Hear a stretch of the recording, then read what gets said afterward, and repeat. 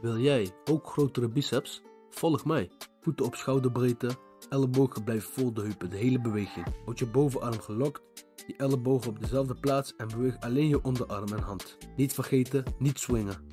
Wanneer je zakt, zorg ervoor dat dat langzaam gebeurt. Laat het gewicht dus niet vallen. Dit zorgt namelijk voor meer spanning. Bij de incline dumbbell curl gaat het echt om de piek van je bicep. Houd je arm en schouder neutraal in een rechte lijn, houd je polsen recht, beweeg hier ook alleen je onderarm. En zorg ervoor dat je bovenarm is gelokt. Stretch en squeeze. Zorg dat je langzaam stretcht bij de beweging omlaag en goed squeezed bij de beweging omhoog. Houd je schouderblad ingetrokken, beweeg je lichaam niet en zorg voor die full range of motion. Lok hier ook weer de bovenarm en gebruik die mind-muscle connection. Hype de stang vast en pak hem iets wijder dan schouderbreedte. Supinated grip, dat betekent meer nadruk op je biceps. Helemaal omhoog en rustig zakken bij de beweging omlaag.